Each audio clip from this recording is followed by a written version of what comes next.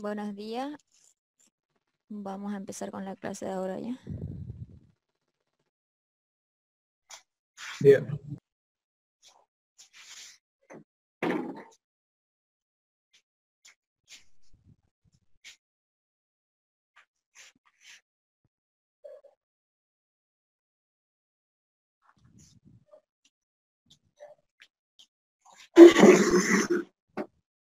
Creo que ya pueden ver la pantalla, ¿no? Sí, sí, está compartida. Ya. Vamos a ver un ejemplo más de, de hallar el diámetro. Y con este vamos a cerrar el tema del el factor de fricción y la pérdida de carga longitudinal por fricción. Ya, luego de eso vamos a entrar a ver este la pérdida de carga por accesorio, que es lo que han visto esta semana con el ingeniero. Ya. Entonces vamos a ver este ejemplo más para despejar todas las dudas que tengan sobre el tema de la ecuación de Colebrook y el factor de Buen fricción. día, doña Hermé. Buen día. Eh, Aquí estamos tomando un tachito. ratingo ya. Los micrófonos, por favor.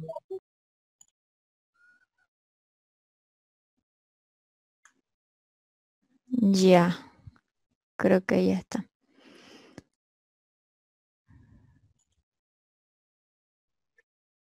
Mm. Ya.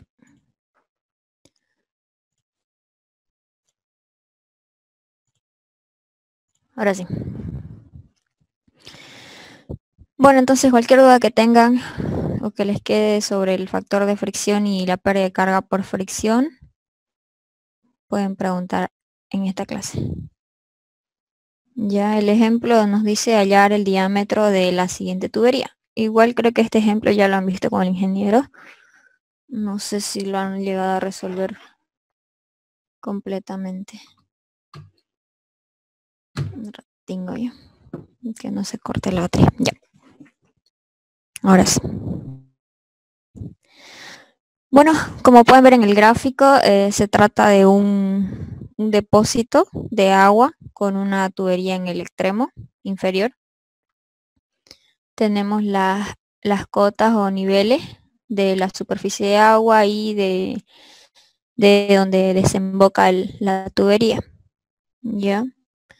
Los datos que tenemos son el caudal, 30 litros sobre segundo, llevado a metros cúbicos, ¿no? Mm, metros cúbicos.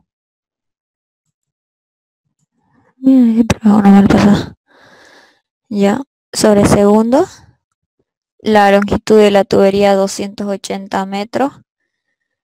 El coeficiente de rugosidad de la tubería 0,024.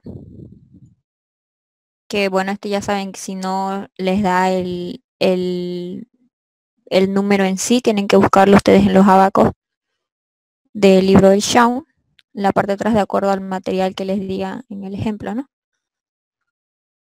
Y por último tenemos la viscosidad cinemática. Lo mismo, esta viscosidad cinemática depende del tipo de fluido. En este caso el fluido es agua a 20 grados centígrados. Ya, entonces en función al tipo de fluido y a la temperatura del fluido, nosotros podemos encontrar la viscosidad cinemática eh, fijándonos en las tablas de la parte de atrás del Shawn, la tabla 2. ¿Ya? Eso ya lo hemos visto en la otra clase y las primeras clases también. Ya. No se olviden que en el Shawn está solamente el número y arriba dicen en una partecita que esos valores son elevados por 10 a la menos 6. Ya. Ahora entonces haciendo el análisis correspondiente de la energía, el que ya conocemos, sabemos que la energía en el punto A, ¿no? Porque tomamos como referencia la superficie del depósito porque se nos van a eliminar va- variables, ¿no? Como la velocidad, que eh, va a ser cercana a cero, y la presión que el, el anterior clase les comentaba que la, con la presión que, que trabajamos nosotros es la presión manométrica, ¿no? Y como la presión manométrica es igual a la presión absoluta menos la presión atmosférica, entonces al actuar sobre esta superficie de agua la presión atmosférica se va a eliminar, ¿no? Y la presión manométrica va a ser cero. ¿ya? Entonces, este, la energía en el punto A menos la pérdida longitudinal del recorrido del flujo hasta, hasta donde desemboca a la tubería va a ser igual a la energía en ese punto, ¿no? Que bueno, aquí dice 2, pero se sobreentiende que es en la energía en B. Ya, entonces, eh, haciendo el desarrollo, la energía en A o en A ya va a ser igual a la al nivel, nivel topográfico, ya, que es igual a 60 metros, ¿no? Más la presión eh, interna del flujo, que ya dijimos que es igual a cero en la superficie, ¿no? En la superficie del tanque. Porque si toman la presión eh, en el fondo del tanque, ah, es otra presión, ¿no? Tienen que tomar en cuenta la, el peso específico por la altura, ¿no? No se olviden de esos, de esos conceptos básicos. Ahí actúa la presión hidrostática. Pero como nosotros por facilidad de cálculo tomamos el como referencia en la superficie del, depósito, entonces eh, la presión es cero. Más la velocidad al cuadrado dividido entre 2g, también que va a ser cercana a cero porque se va a ir vaciando de poquito, ¿no? El depósito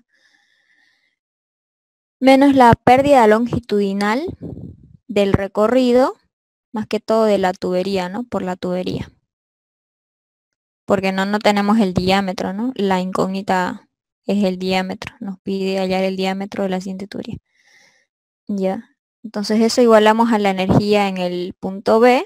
Lo mismo, la, la cota topográfica más la presión eh, interna del flujo, más la velocidad al cuadrado dividido entre 2G. ¿No? Aquí eh, puede haber una confusión en esta, en esta segunda parte como, de cómo se realiza el análisis a la salida de la tubería. Ya. Eh, no sé si ustedes si se han fijado en los libros, em, en el Rover Modo o en cualquier otro libro de hidráulica, eh, dice que exactamente justo a, la salida de la tubería, como el, el flujo, el fluido está expuesto a la presión atmosférica, va a suceder algo similar que en la superficie del depósito, ¿no? Como el, flujo está expuesto a la presión atmosférica, la, presión manométrica en ese punto es cero. ¿Ya? pero eso puede diferir, ¿no? Depende de, dónde tomen en cuenta ustedes, porque si toman en cuenta esta presión, la, presión de la presión 2 dentro de la tubería, eh, sí va a haber una, una presión manométrica. Ya, esa parte, para que no se confundan, cuando ustedes toman el segundo punto justo a la salida de la tubería, en donde el, flujo está expuesto a la presión atmosférica, la presión en ese punto también la vamos a considerar como cero. ¿Ya? ¿Y qué pasa con la velocidad? La velocidad va a ser cero. No, no, ¿eh? Porque el flujo, el fluido va a salir con cierta velocidad. Perdón, un ratingo.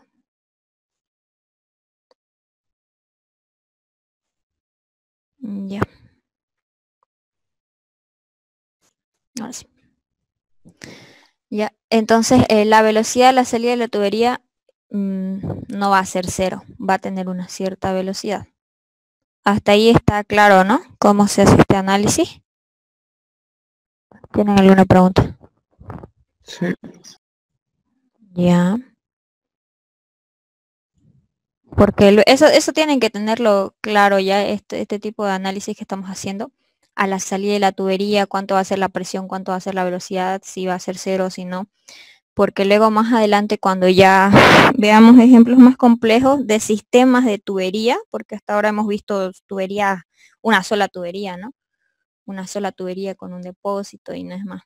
Pero luego cuando veamos ejemplos más complejos donde haya sistemas de tuberías, ramificaciones, entonces tienen que tener estos conceptos claros de, de dónde van a hacer el análisis para facilitarse el cálculo que ustedes van a hacer. ¿Ya?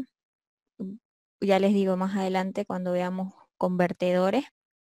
Chica, hasta, hasta se van a dar cuenta. Pero es chistoso, es, pequeñita y, y, cuando está en la... Perdón, ¿me está escuchando? ¿Cómo?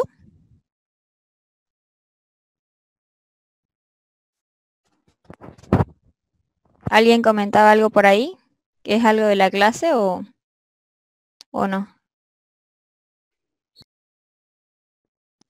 No, no era, creo. Ya. Bueno. Entonces eso ya quedó claro, ¿no?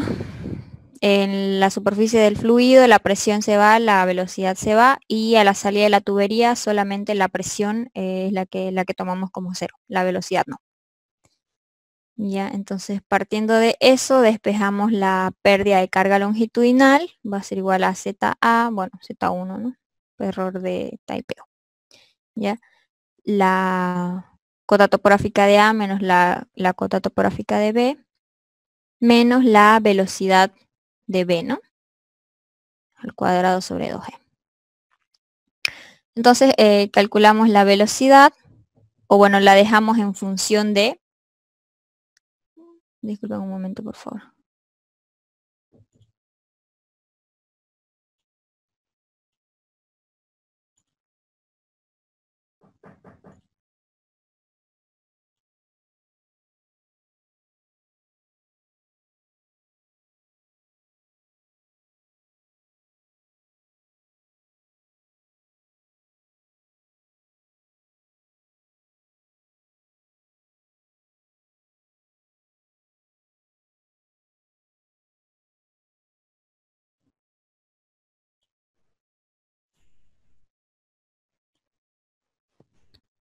Ya. Continuamos. Siguen entrando sus compañeros. Ya. Eh, aquí vamos a hacer lo mismo que hemos venido haciendo. Dejar en función de la variable del diámetro. ¿Ya? La velocidad sabemos que es igual al caudal dividido el área. ¿Tenemos el caudal? Sí. ¿Tenemos el área? No, no podemos calcular el área porque no tenemos el diámetro, pero ese diámetro es nuestra incógnita. Entonces vamos a dejar la velocidad en función del diámetro caudal 0,03 eh, metros cúbicos sobre segundo. Por este 4 es el que divide al pi por diámetro al cuadrado entre, entre 4, ¿no? Del área. ¿Ya? Y bueno, finalmente nos va a quedar esto, ¿no? 0,03 por 4 dividido entre pi por diámetro al cuadrado. ¿Ya? La pérdida longitudinal, tenemos los datos de, las de las cotas topográficas, sí, 60, ZA, ZB42. Mm, ¿Qué más? La velocidad en B la tenemos, sí, la tenemos en función del diámetro. Nada, la, la reemplazamos. 0,03 por 4 dividido pi por diámetro al cuadrado. Todo eso al cuadrado, ¿no? No se olviden que la velocidad aquí está elevada al cuadrado. Dividido entre 2 es, bueno, acá yo lo he separado, ¿no? Por 1 dividido entre 2 por 9,81. Eso para que no esté todo junto acá y no sé, tal vez no, no, se entienda, ¿no? Entonces este, este 2 por 9,81 es lo que divide a todo esto, ¿no? La velocidad al cuadrado, que está en función del diámetro. ¿Ya? Entonces, eh, haciendo la reducción, reduciendo toda esta, esta ecuación, siguen entrando sus compañeros. Ya reduciendo toda esa ecuación, nos va a quedar 18 menos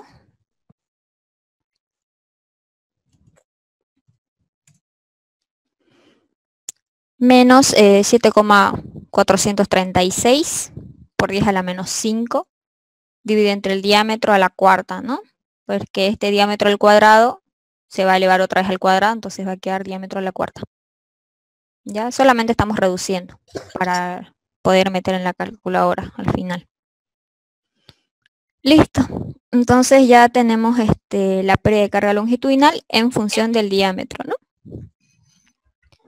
Ahora nosotros también sabemos que la pérdida de carga longitudinal es igual a la pérdida de carga por fricción, HF, más la sumatoria de la pérdida de carga por accesorio. Tenemos accesorios en este sistema de tubería. Quizá, pero no nos especifican el problema, ¿no? Podemos tener, qué sé yo, acá un filtro, o tal vez por aquí una válvula, pero como no nos especifica, entonces no, no tenemos, ¿no? Pero podríamos tener, ¿no? Podríamos tener aquí a la salida del, tanque un filtro, un filtro de partícula. Por aquí, al final, podríamos tener una válvula que abre y cierre la tubería, ¿no? Pero como les digo, no, no lo tenemos, entonces vamos a considerar esa parte de la fórmula cero sumatoria de pérdida de carga por accesorio, esta parte cero, ¿no?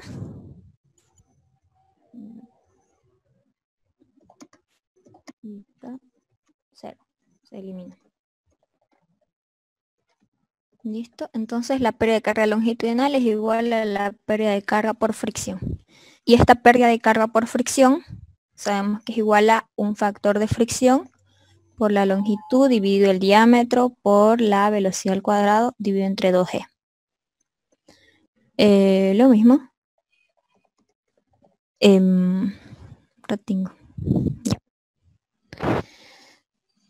Como ya sabemos que HF es igual a HL de acá arriba, ¿no? HF igual a HL, entonces HF sabemos que es igual a, todo esto, ¿no? En función del diámetro, lo que habíamos deducido aquí arriba.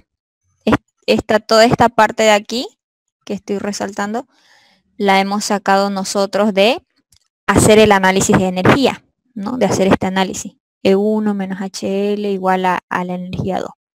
Entonces, de ese análisis hemos sacado la pérdida de carga longitudinal en función del diámetro pero nosotros además de eso sabemos que esa pérdida de carga longitudinal es igual a HF, a la pérdida de carga por fricción.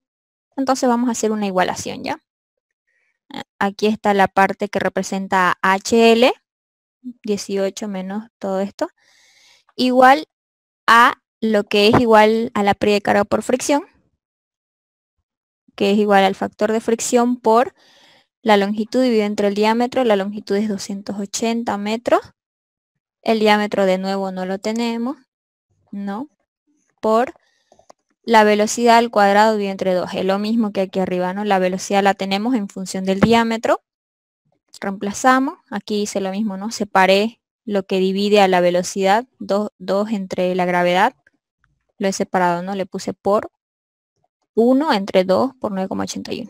Que haciendo las operaciones es, es equivalente a esto. A la velocidad al cuadrado entre 2g. Ya, entonces, este, simplificando esta parte solamente, ya, aquí simplifique solamente esta parte, sale que es igual a 0,021 dividido entre diámetro a la quinta. Ya.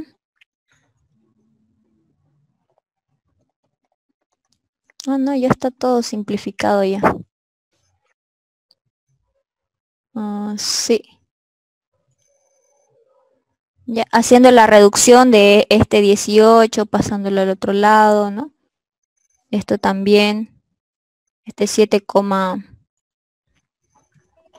Ahí sería factor de fricción por 0,021 sobre diámetro a la quinta, ¿no?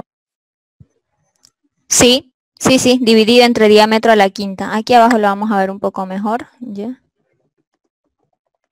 Sí, 0,021 por eh, perdón, dividido entre diámetro a la quinta. Ya.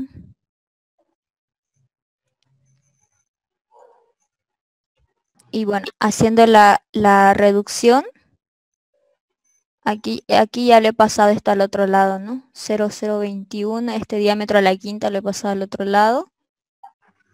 Ya. Espérame un ratingo.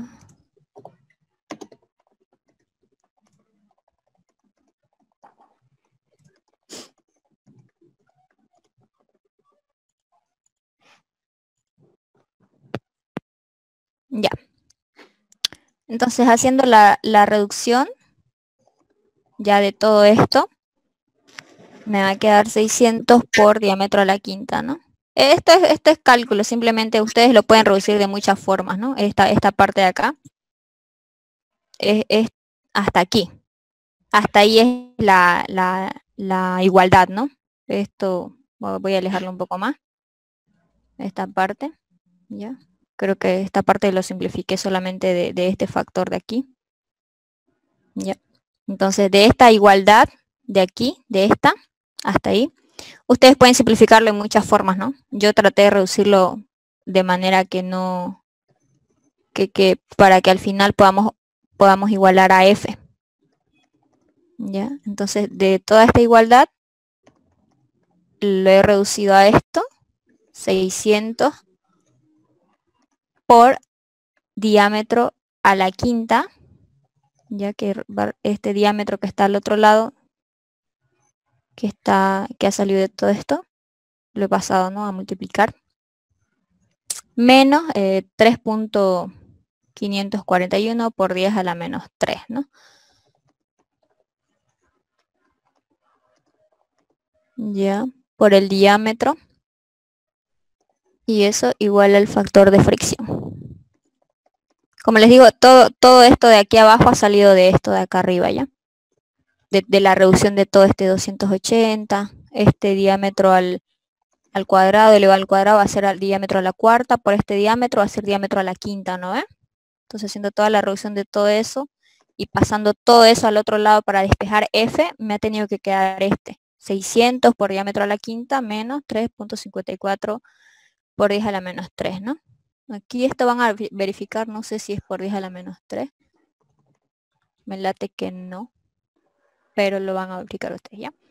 El punto es que de, toda esta igualdad, ustedes puedan reducirlo, ¿ya? De todo esto puedan reducirlo y despejando solamente f. Entonces, este, eh, la función, la ecuación les va a quedar f igual a, al, algún, a la única variable que van a tener para, para encontrar va a ser el diámetro, ¿no? Y f lo van a igualar a lo que ya conocemos, ¿no? Cómo hallamos el factor de fricción mediante la ecuación de Colebrook o la otra que ya está despejada, ¿no? Entonces sabemos que el factor de fricción es igual a 0,25 dividido entre el logaritmo del el factor de rugosidad dividido 3,7 por el diámetro más 5.74 dividido el número de Reynolds elevado a la 0,9 y todo eso elevado al cuadrado. ¿ya? El número de Reynolds, no nos olvidemos que hay dos fórmulas, la que vamos a utilizar es la que está en función de la viscosidad cinemática. ¿ya? Entonces, como tenemos la viscosidad cinemática, lo mismo, la velocidad la tenemos en función del diámetro, diámetro al cuadrado, ¿no? Se va a eliminar, se va a eliminar, me va a quedar solamente un diámetro. Y simplificando todo eso me va a quedar 4 por 0,03 dividido pi por la viscosidad cinemática, ¿no? Y haciendo toda esa reducción, al final me queda este valor. ¿Quién me está rayando la pantalla? Por favor, no sean dañinos. A menos, si tienen preguntas, pregunten ya. Si pueden borrar ese rayón. Ya.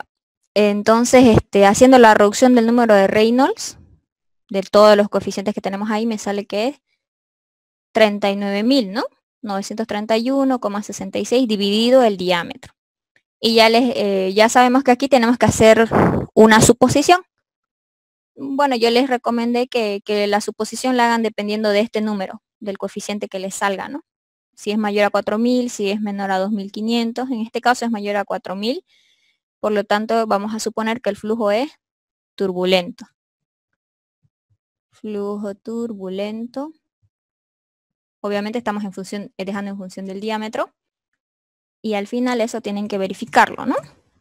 por ahí no era, ¿no? Por ahí le pelamos en alguna parte y sale otra cosa. Esto tienen que verificar al final cuando ya encuentren el diámetro. De momento vamos a asumir que es flujo turbulento por este coeficiente de acá, ¿no? 39.000 mayor a 4.000, flujo turbulento. Y listo. Entonces, este, esto, este número de Reynolds lo hemos dejado en función del diámetro para reemplazar aquí, ¿no? En esta fórmula.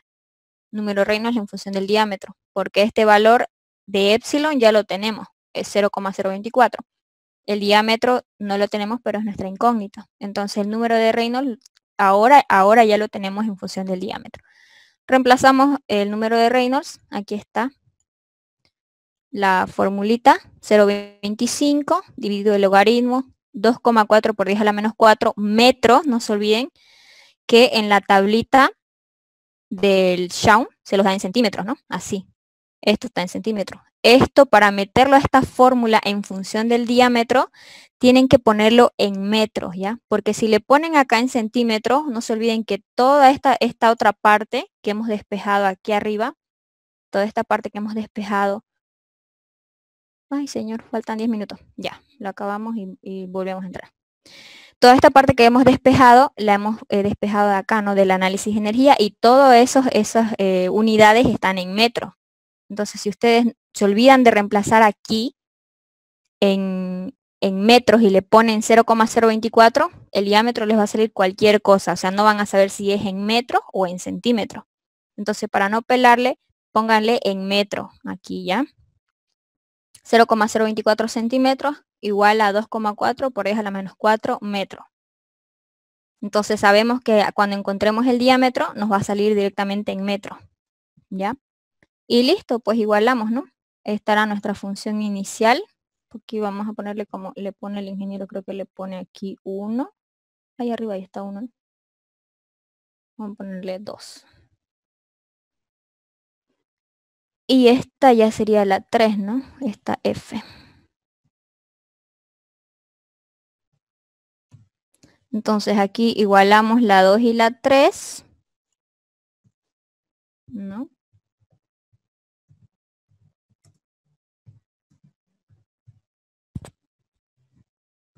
igualamos la 2 y la 3, la 2 que está eh, F igual todo esto en función del diámetro y igual al factor de fricción, ¿no? Que ya sabemos cuáles son las fórmulas.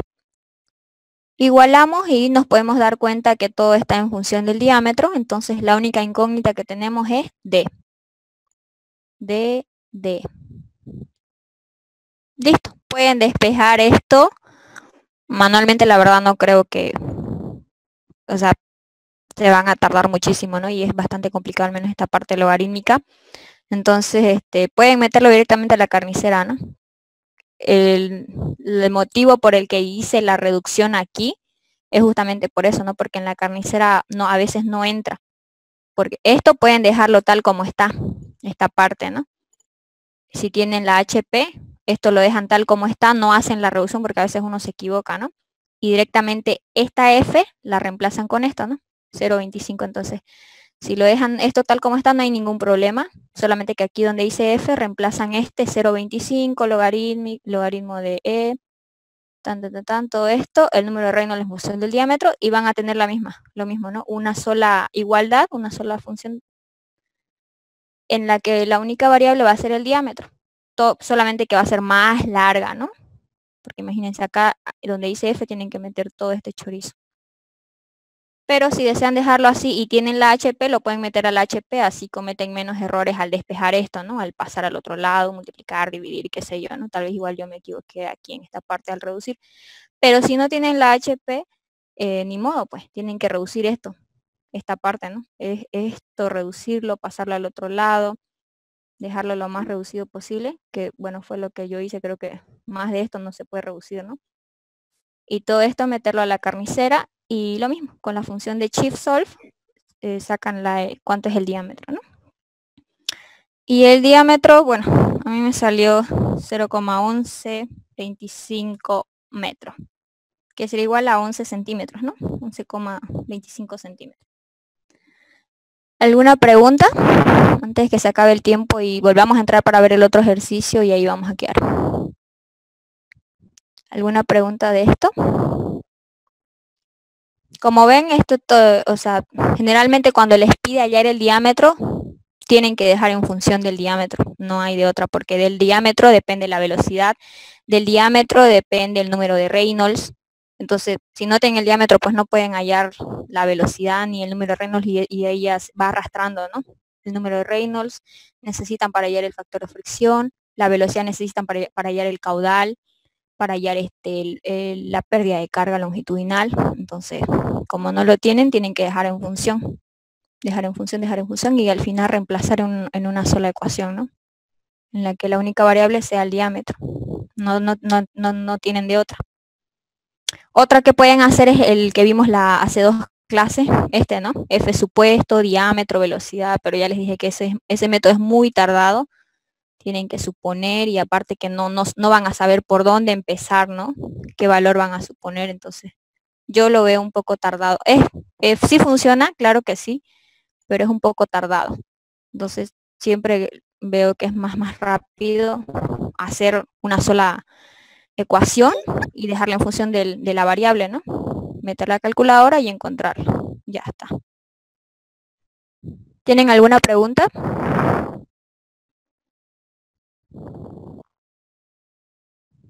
Ah, y obviamente no se olviden que aquí al principio para hacer este análisis es importantísimo, ¿no? Para hacer este análisis tienen que saber qué variables se van a eliminar. Esa parte es importante. De ahí pues ya todo es reducir, reemplazar y pues nada, dejar en función. ¿No? Pero mu- como les digo, muchos se chipan en esa parte, no, no, no saben cómo, cómo van, a, van a seguir, ¿no? ¿Tienen alguna pregunta? ¿O ya está claro? Porque de aquí en adelante ya no vamos a volver a ver este tema del factor de fricción. Ni, ni, ni esto tampoco, ¿no? Ni el factor de rugosidad. Vamos a ver otras cosas. Ninguna, Ausi. Ninguna. Ah, y aquí no se olviden, ¿no? Con este diámetro, verifiquen este número de Reynolds para ver si de verdad era flujo turbulento, ¿no? Pero seguramente les va a salir turbulento. Este número es pequeñísimo. 39.000 dividido entre 0,11 salir pequeño. Bueno, no se va a reducir mucho, mejor dicho, ¿no? Va a salir mayor a 4.000. Ya. Bueno, entonces si no hay pregunta, eh, nos quedan tres minutos. Vamos a ir viendo el otro ejercicio. Cuando se corte, vuelven a entrar al mismo link ya que les he enviado. Hasta mientras vamos a ver esta parte. Eh, la que han visto con el ingeniero esta semana. Pérdida de carga por fricción mediante el método de Heisen-Williams. A partir de aquí en adelante solamente vamos a ver esta parte. En eh, aquí, hasta ahora hemos visto la pérdida de carga por fricción utilizando esta formulita de acá, ¿no? A ver, ¿dónde está? Esta. Utilizando esta formulita. Igual a F por LD, eh, L soy dividido entre D por la velocidad al cuadrado dividido entre 2G, ¿no? Que si no me equivoco, ese es el método de Darcy-Weisbach, ¿ve? Hemos visto el método de Darcy-Weisbach, eso lo han visto en clase con el ingeniero. Ahora, de aquí en adelante, vamos a ver el mismo factor de fricción, pero por el método de Heisen-Williams, ¿ya? Pérdida de carga por fricción por el método de Heisen-Williams. Este método es uno de los más utilizados en sistemas de tubería, redes, redes de tubería, ¿ya? Eh, depende de un coeficiente C, coeficiente C de Heisen-Williams, que igual está en la tabla en, las tablas del Shawn, ¿ya? Y bueno, generalmente esto en, los problemas no los da, pero si no nos los da, es- este C está en función de los diámetros de las tuberías, ¿ya? En función de los diámetros y en función del material también. Entonces, en función de esos, de esos dos, eh, esos dos parámetros, no tenemos este, el- tenemos la opción de hallar este valor C, que es el coeficiente de Heisen-Williams. Entonces, fíjense que vamos a seguir hablando del factor de fricción, perdón, la pérdida de carga por fricción porque es algo, algo permanente, ¿no? Algo que siempre va a estar ahí en- en cualquier sistema de tubería. Siempre vamos a tener pérdida de carga, generalmente por fricción, ¿no? Y ahora vamos a incluir la pérdida de carga por accesorio. Pero el método que vamos a ver ahora es el método de Heisen-Williams, que es uno de los más utilizados. Se lo utiliza en, cálculos de, incluso con el, con el cubano, ¿no? Los que si algunos están con el cubano, el método que utilizan es el de Heisen-Williams para hacer el cálculo de las redes, redes de agua sanitarias, ¿no?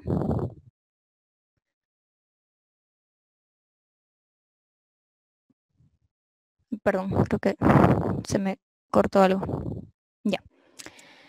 Entonces, este, el método de Heisen-Williams mm, nos dice que la pérdida de carga por fricción es igual a 10,66 dividido el coeficiente Heisenberg elevado a 1,85. Todo eso por la longitud de la tubería dividido entre el diámetro de la tubería elevado a 4,87 por el caudal que circula por la tubería elevado a 1.85.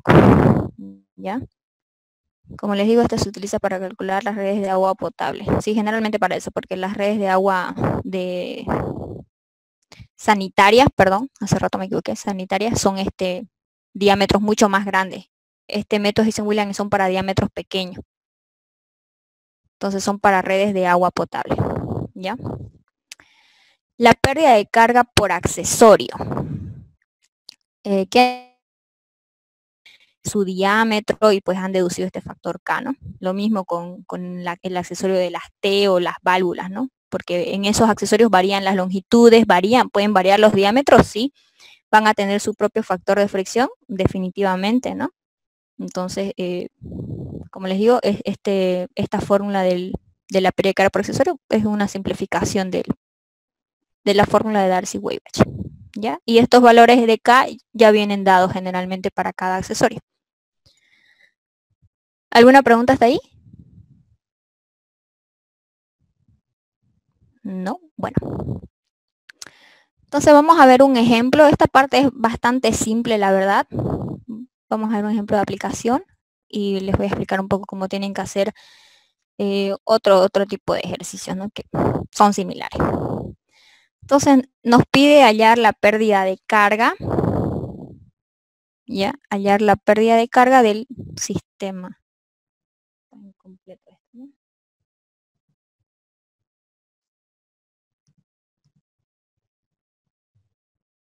Listo.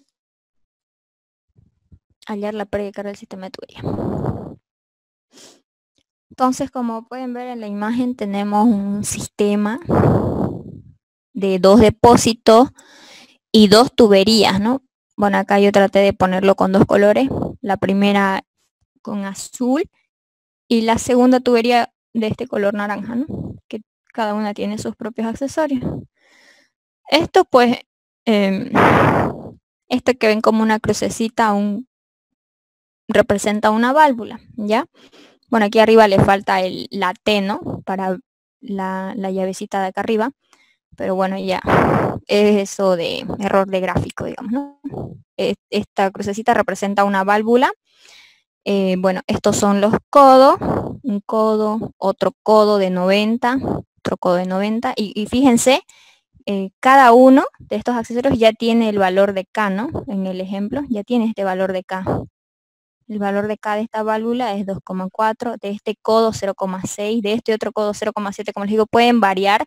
Eso depende ya de cada accesorio, puede ser del material, el tipo de codo, qué sé yo, codo de 90 y, de, un tipo de material o, de, o también el diámetro, ¿no? Puede ser. Eso varía de acuerdo a cada accesorio. Pero este una, preguntita tengo, este, ¿Sí? en el ejercicio especifica ese ese, digamos, ese codo que se encuentra entre el tubo 1 y el tubo 2, ¿para qué tubo pertenece? ¿Este? Ajá. Mm, sí. Sí, especifica. Bueno, en sí, eh, pueden ponerle ustedes, este, debería especificar, ¿no? Este, este codo te referís el 0,6, ¿no? Sí. Sí.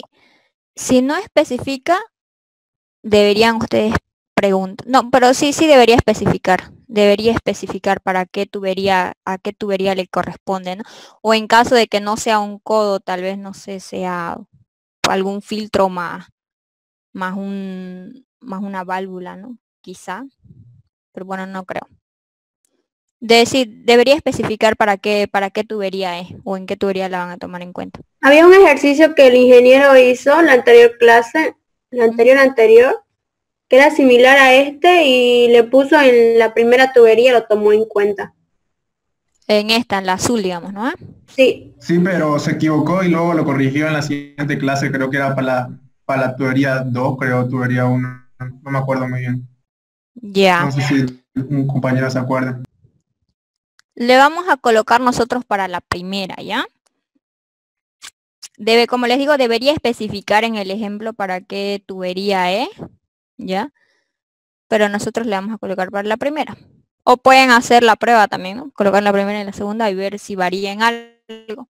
Pero eh, debería especificar en el ejemplo, ¿no? Que sé yo, la tubería 1 tiene los siguientes accesorios, ¿no? Una válvula, dos o tres codos, digamos, ¿no? por decir, este, allá la precarga del sistema de tuberías, la tubería 1 eh, tiene los siguientes accesorios, una válvula y tres codos de 90, por ejemplo, ¿no? Entonces ustedes ya saben que los primeros tres codos son para la tubería 1. Y la tubería 2, eh, decir lo mismo, ¿no? La tubería 2 tiene los siguientes accesorios, de dos o dos codos de 90, o un codo de 90, una válvula, un filtro, ¿no? Cosas así, para que ustedes se ubiquen y sepan para cuál tomarlo en cuenta. Pero no creo que afecte mucho, la verdad. O sea, quizá si son de, diferentes diámetros, las tuberías sí afecten, ¿no? Porque aquí va a haber, qué sé yo, un codo eh, con una reducción o ampliación en uno de los extremos, ¿no? Aunque no, no sé la verdad si ese tipo de accesorio. Creo que no. ¿Ya? Generalmente creo que lo que hacen es este, poner el codo y luego seguido del codo la reducción o como un buje, ¿no? Como un buje, un buje de ampliación o reducción para la siguiente tubería puede ser así, ¿no? O sea, ya hablando de, ejemplos más reales, no hay, creo que no hay ese tipo de accesorio de un codo que, inicie con un diámetro y termine pues con uno más grande. Creo que lo que hacen es colocarle un buje eh, a continuación, ya con ampliación o reducción. ¿Ya?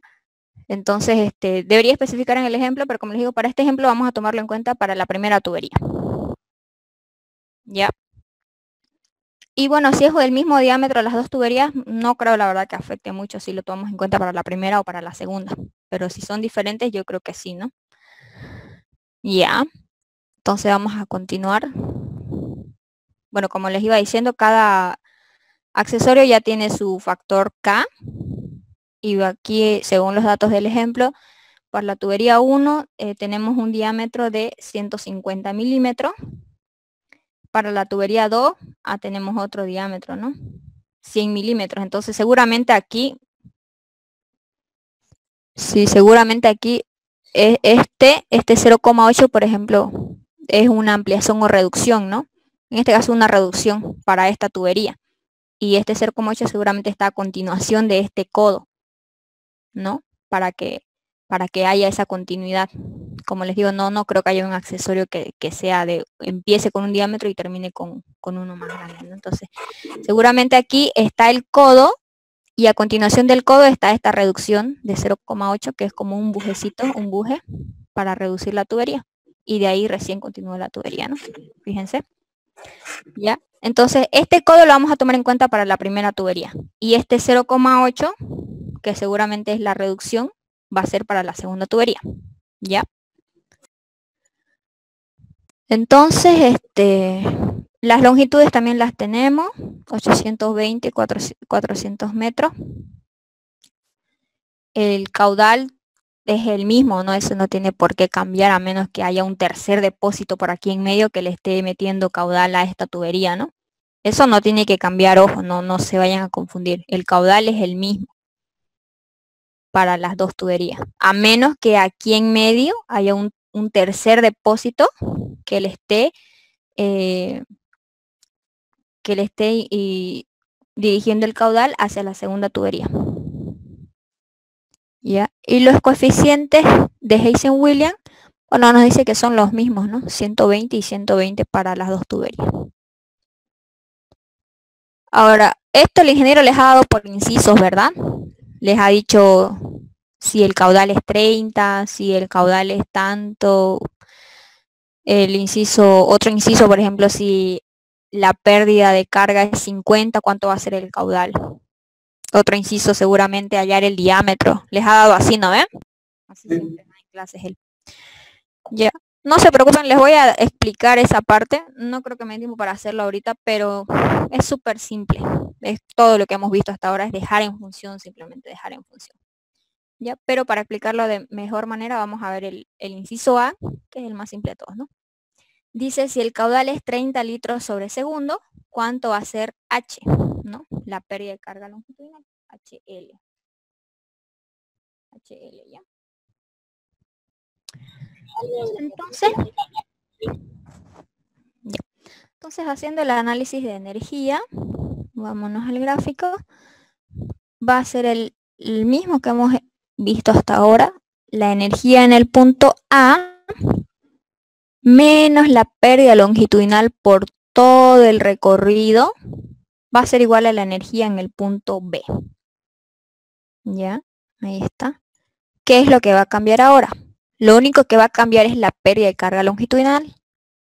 Ahora ya tenemos accesorios. Entonces, esa pérdida de carga longitudinal ya no va a ser solamente igual a la pérdida de carga por fricción, sino que va a ser igual a la pérdida de carga por fricción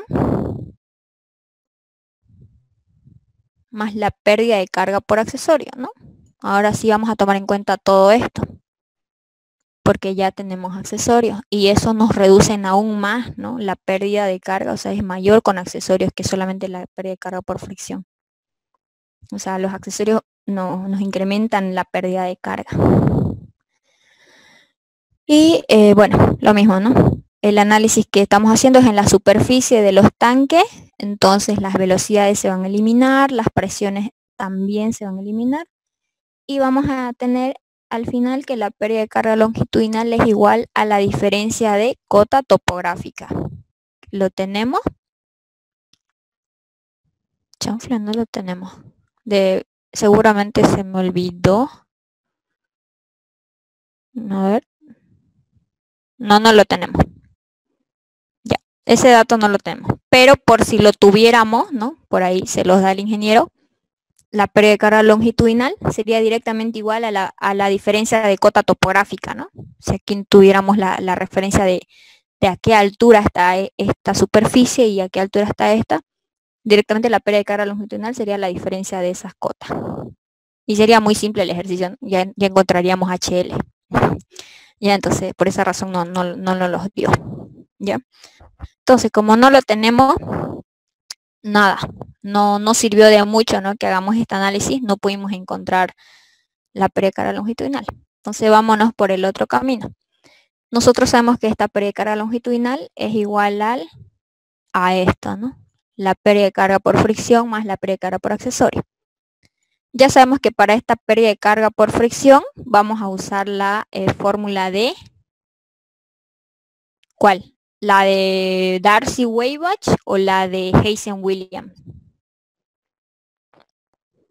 Por, los datos, la de Hazen, Hazen Williams. Sí, exactamente por los ya por los datos solamente, ¿no? Vamos a utilizar la de Hazen Williams porque para utilizar la de Darcy Weibach necesitamos el factor de rugosidad que no lo tenemos, necesitamos la viscosidad cinemática que tampoco la tenemos, ¿no? El factor de fricción, o sea, es un poco más largo. Y bueno, no, no nos da esos datos tampoco, ¿no?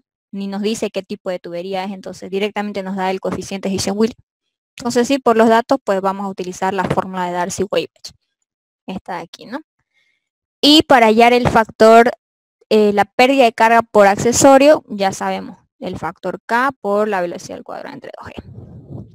Entonces hallamos las velocidades, tenemos el caudal, sí, los diámetros también los tenemos, entonces reemplazamos simplemente, ¿no? Aquí todo es reemplazar. Caudal entre área. No se olviden que este 4 es el que divide aquí, ¿no? Pi por el diámetro al cuadrado entre 4. Eso lo he pasado a multiplicar acá arriba. Ya, entonces, bueno, la velocidad en la tubería 1 va a ser igual a 1,7. La velocidad en la tubería 2 a 3,82 metros sobre segundo. Y este, aquí como son diferentes diámetros, ¿no? Vamos a tener dos pérdidas de carga longitudinal, ¿no? La pérdida de carga longitudinal de la tubería 1 y la pérdida de carga longitudinal de la tubería 2. Eso solamente porque son diámetros diferentes, ¿no? Si fuera un solo diámetro, pues sería una sola tubería, una misma tubería, ¿no? Que no cambia de sección en ninguna parte. Pero como son dos diámetros, entonces son dos tuberías diferentes y el, por lo tanto las pérdidas de carga longitudinal de cada una, de cada una de las tuberías, al final las vamos a sumar para saber la pérdida de carga longitudinal total, ¿no? Entonces, la pérdida de carga longitudinal de A a B, desde A hasta B, eh, dice que es igual a la pérdida de carga longitudinal 1 de la tubería 1 más la pérdida de carga longitudinal de la tubería 2. Y a su vez, este HL1, la pérdida de carga longitudinal 1, sabemos que es igual a la pérdida de carga por fricción más la pérdida de carga, ojo, más la sumatoria de la pérdida de carga por accesorio. Quiere decir que aquí, este HM, ¿no? La sumatoria correspondería a sumar los K de cada uno de los accesorios que tenemos en la tubería 1. Todo eso multiplicado por la velocidad al cuadrado dividido entre 2G, ¿no? Entonces aquí también sería sumatoria eh, de los... ¿Dónde está el valorcito este de sumatoria? Este, ¿no? Sumatoria también. Sumatoria de los K de todos los accesorios ¿no? que haya. Esto igual, ¿no? Esto ya es para la sumatoria total.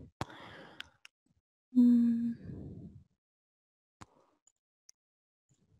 Ya, entonces tenemos que sumar todos los, factores de K y multiplicarlos por la velocidad del cuadrado entre 2G.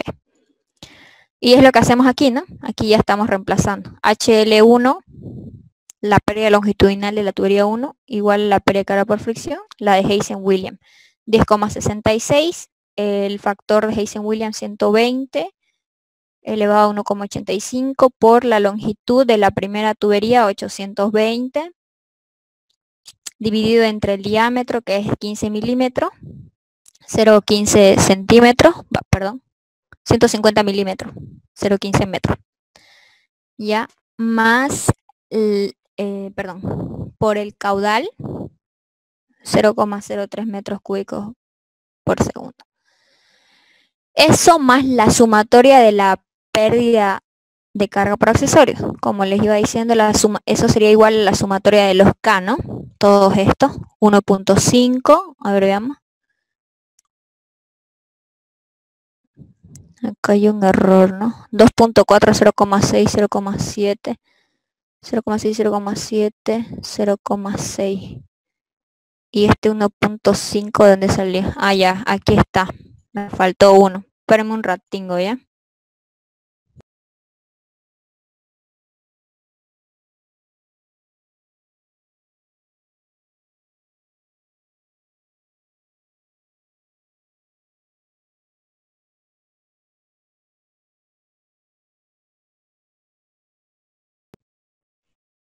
Van a disculpar ya.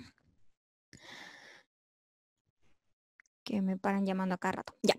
Entonces aquí yo me olvidé de un accesorio. Como les iba diciendo, aquí hay un filtro al comienzo. Vamos a copiarle este, este mismo simbolito ya.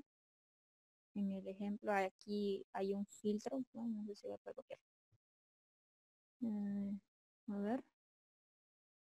Aquí hay un filtro al inicio a la salida del tanque en realidad, ¿no? Hay un filtro de arena, ¿no? Para que no pasen los, sólidos. Y ese valor, el valor de ese, del factor K de ese filtro, dice que es 1.5. 1.5, ya. ¿Le entienden a los gráficos? No, no. Sé que no, está, no está eh, especificado qué es cada cosa, pero bueno, lo que quiero que entiendan es que, por ejemplo, aquí al inicio de la tubería hay un filtro, ¿no? Un filtro de arena. Esto es una válvula, los codos, esto puede ser una reducción o ampliación y esto otro filtro quizá, ¿no? O una reducción o ampliación también. ¿Ya? Entonces, ese es er, error de gráfico ya.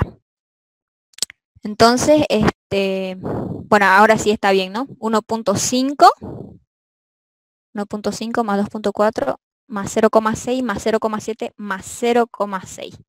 La sumatoria de todos los factores K, sumatoria de todos los factores K, y todo eso multiplicado por la velocidad de la tubería 1, que ya lo tenemos, 1,7 al cuadrado, dividido entre 2 por 981. Y listo, ¿no? Aquí ya lo he reducido por parte.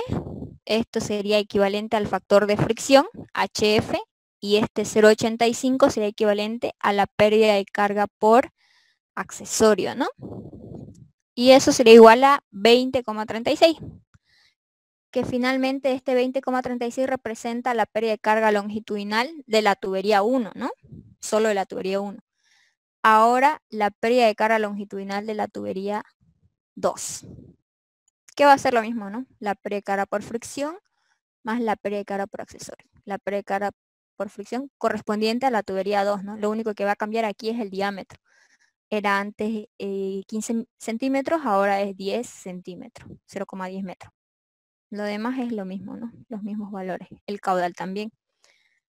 Y eh, la pérdida de carga por accesorio, lo mismo, la sumatoria de los K de la tubería 2, ¿no? 0,8 más 0,7 más 3,2 más 1. Sí, son cuatro valores, uno, sí. Sumatoria de los K por la velocidad de la tubería 2, que es mayor. 3,82, ¿no? metros sobre segundo. ¿Ya? Entonces, eh, ya está, ¿no? Simplemente calculamos, hacemos el cálculo, 68,55 la pérdida de carga por fricción y la pérdida de carga por accesorio 4,24. Finalmente la pérdida de carga longitudinal de la tubería 2, 72,79. Y eh, al final la pérdida de carga longitudinal total de todo el sistema es simplemente la sumatoria de las pérdidas longitudinales de cada tubería. Hacemos la sumatoria y la pérdida longitudinal de la tubería 1 y 2 es igual a 93.15, que sería igual a la diferencia de cota topográfica, ¿no? A este Z1 más Z2. Si tuviéramos, por ejemplo, la referencia de Z2, podríamos hallar a qué altura está este, ¿no? Z1. Pero como no tenemos como referencia ninguno, ninguno de, las, de las cotas, entonces no sabemos que la diferencia entre A y B es 93.15, pero no sabemos a qué nivel en realidad están cada una de estas. Si nos especificaran el ejemplo que el, el, depósito 1, por decir, está, eh, qué sé yo, a 5 metros sobre el nivel del mar, entonces ya tendríamos una referencia y entonces a, esa, a ese nivel le restamos el, la pérdida de carga de acuerdo a esto, ¿no? lo que deducimos aquí arriba, a esto, que la pérdida de carga es igual a la diferencia cototopográfica, podríamos obtener el nivel de del segundo depósito. Pero bueno, como no tenemos esos datos, no, no hay problema, ¿no? Disculpa. Sí. Eh, los datos de longitudes nos están dando 480 y 800 metros. Eh, pero no hay longitudes ahí en por tramo de, de, accesorio a accesorio, digamos, no hay longitudes en tu gráfico. Pero, ¿cómo no hay longitudes? Acá, digamos. De tu válvula de salida. Ah, ya. ¿Es la totalidad de esas longitudes? ajá, la longitud de la tubería 1 dice que es 820 metros. Mm, Sería esta, esta longitud más esta vertical más esta horizontal, ¿no? porque no, no, no serviría de nada si tomo la longitud desde el extremo hasta aquí, ¿no? ¿Me entienden? O sea, esta longitud es la sumatoria de, este pedazo horizontal más este pedazo vertical más este pedazo horizontal. Porque es el recorrido que va a ser el flujo, ¿no? Si, tomamos una recta, pues no sirve de nada, entonces no, no tomamos en cuenta los accesorios ni nada de eso. Pero aquí ya sabemos que el recorrido hace un codo, entonces baja verticalmente, luego se va horizontalmente. Entonces esta longitud es, el, recorrido en sí, el recorrido, la trayectoria, no la distancia directa, ¿no? Es la trayectoria del flujo, esta longitud. Y lo mismo para la longitud de la tubería 400 metros. Qué sé yo, aquí puede, esta vertical puede ser 200 y aquí 200, ¿no? O puede ser 150 y 350, ¿no? Pero eso no, nos afecta mucho. Ese, ese, tubo de 90, 90 grados es irreal, no puede ser. Ah, este codo, este codo contra codo decís vos. No, el del 06 del otro lado, del lado derecho. Este. Sí, esa, esa tubería que está naranja no puede ser esa. Esa pequeñeza ahí. Claro, por eso es lo, es lo que les decía, no, o sea, en realidad no hay, no hay un codo que, sea de un diámetro al extremo y al otro de, de, otro diámetro, no hay. No hay, o sea, en la vida real eso no, no hay ese accesorio. Debe ser una reducción ese 0,8. Exactamente, es lo que yo les decía. Lo que se hace generalmente, ¿no Es colocar un codo y luego un buje de reducción o ampliación para la tubería. Eso es lo que se hace, ¿no Ese pedacito de naranja debe ser azul, no debe ser naranja. Bueno, lo podemos recorrer esto ahí, digamos, ¿no? para que se entienda. Así. Exactamente. Es, sí, e, este 08 debe ser una reducción o ampliación, un buje que sale del codo, ¿no? Para la reducción de la siguiente tubería. Ahí. Así sería. Sí, es verdad, tienen razón en la vía. Yo tampoco no he visto ningún accesorio que sea así, ¿no? Pero sí sé que, que del accesorio le ponen un buje con, ya con reducción o ampliación para la siguiente tubería, eso sí. Ya. Entonces, eh, ¿alguna pregunta?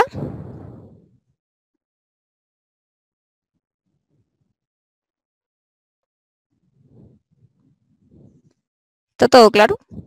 Sí, sí. ¿Vas a facilitar este Word al grupo?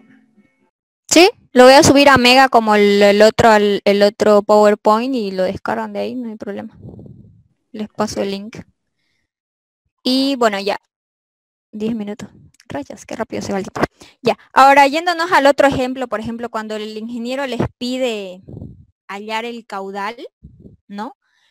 Por ejemplo, el inciso B de este ejemplo sería hallar eh, hallar el caudal si H es igual a 50, por ejemplo, ¿no? 50 metros. Entonces, lo único que tienen que hacer aquí es eh, hacer este mismo análisis, o sea, estas mismas fórmulas, este mismo análisis de eh, la pérdida de carga longitudinal igual a la pérdida de carga longitudinal de la tubería 1 más la pérdida longitudinal de la tubería 2.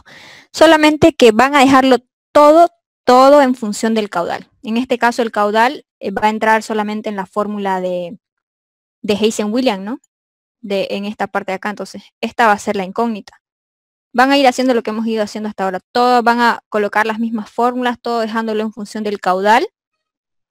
Y obviamente aquí también, ¿no? La velocidad va a estar en función del caudal. No se olviden que esta velocidad es igual a, aquí está, caudal sobre área. Entonces, aquí, en esta formulita, este caudal va a ser incógnita.